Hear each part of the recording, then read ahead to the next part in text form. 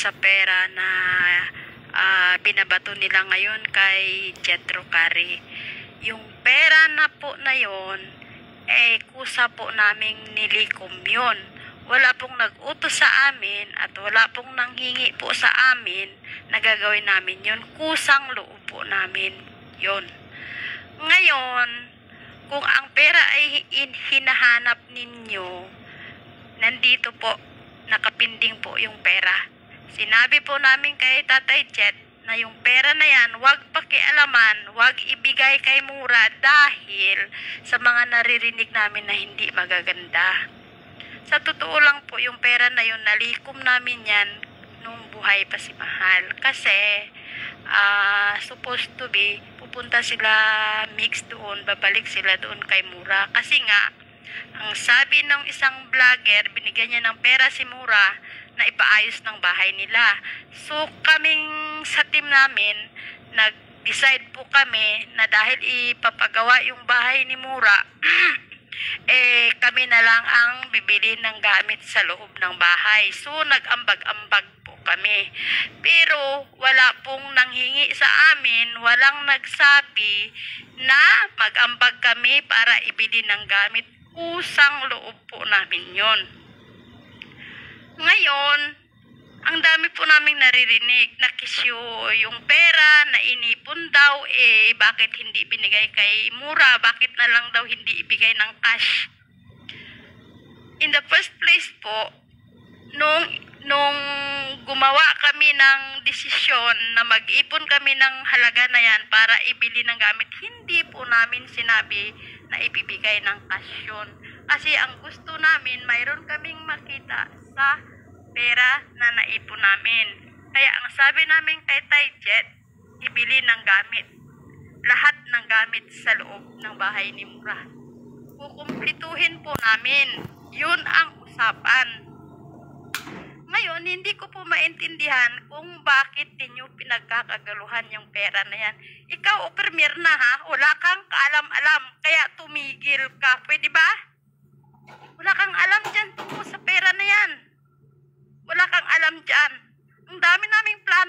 Mura eh. Sinira mo. Sinira mo.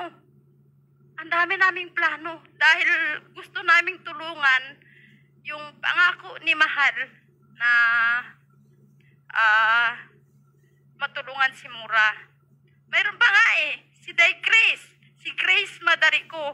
Nangako na buong bubong, bubong ng bahay ni Mura, siya ang bibili. Ngayon, sa mga ginagawa niyong paninira, ano, hindi na, hindi na namin itutuloy lahat yun. Wala na, cancel na lahat na yun. At saka yung package na hinihintay ninyo na parating kay Mura, wala na rin yun. Cancel na yun, lahat, wala na. Kayo na lang, kayo naman magaling eh. Kayo na lang. Kaya kung pwede lang ha, huwag niyong tirahin si Megs, huwag niyong tirahin si Tajet. Kasi hindi sila nanghingi sa amin. Kusang loob namin yun. Mga pakialamera kayo. Kakagigil kayo eh. Isa ka pa o premier na ka, ikaw ang nagumpisa ng gulo na to eh. Ikaw ang nagumpisa. Ikaw ang nagsira nitong lahat na to. Ikaw! Hindi ko alam kung sino nasa likod mo eh. Kakainis ka. Kakakulo ka kaya ng dugo. Sinisira mo yung samahan ng Mamigs. Sinisira mo yung samahan lah ng mga fans ni Mix at ni Mahal. Sinira mo. Hindi mo lang sinira ang mga fans ni Mahal at ni Mix. Sinira mo pati pangalan ni Mahal. Alam mo kung bakit? Alam mo kung bakit? Lumalabas na naging traidor si Mahal eh. Na habang nakatira pa siya doon kila Megs, ha? Habang nakatira pa siya doon kila Megs, at inaalagaan siya nung tao, minahal siya ng pamilya Molino, ano ang sinukli niya? Kakainis kayo? Tapos sasabihin mo, mahal mo si ate mo, mahal? Paano mo naging mahal si Mahal kung sinira mo yung pangalan niya? Paano mo siya naging mahal? Sige nga, paliwanag mo nga. At saka yung pera na yun, wag mo nang pakialaman yun ha.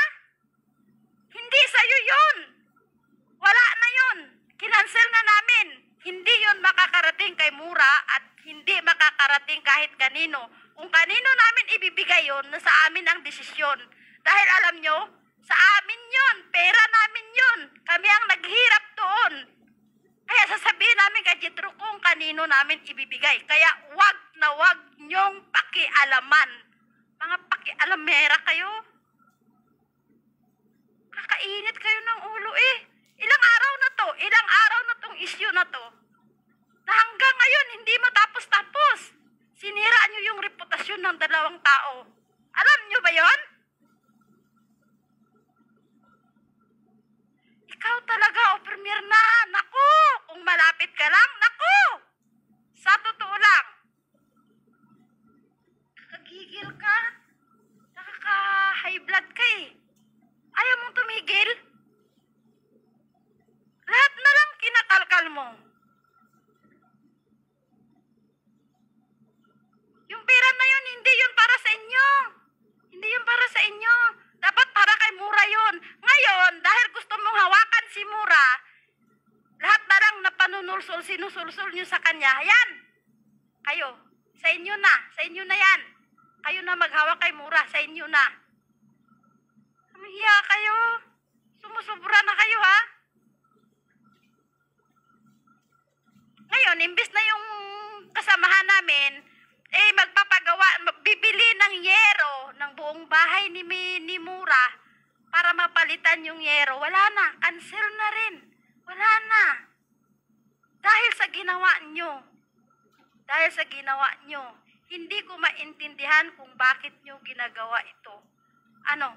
Para masira si Mix? Para masira si Jetro? Ganon? Hindi kayo nakakatulong. Hindi kayo nakakatulong. Sinira nyo. Sira na.